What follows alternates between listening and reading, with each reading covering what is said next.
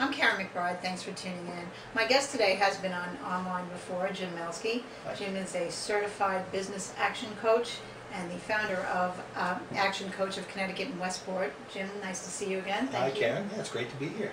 To let's be let's start by reminding our viewers of some that, that that don't know about you. Jim is also a frequent contributor to our newspapers. But what is um, an action coach? Explain the role. Was certified. Fantastic, fantastic. What what we do, Karen, is we work with small and medium-sized business owners, and we really help them win. I mean, we're with our clients every single week, helping them to stay focused on their goals. The coaching part comes in, in that, you know, we all believe that we're good at some things and not good at others, right?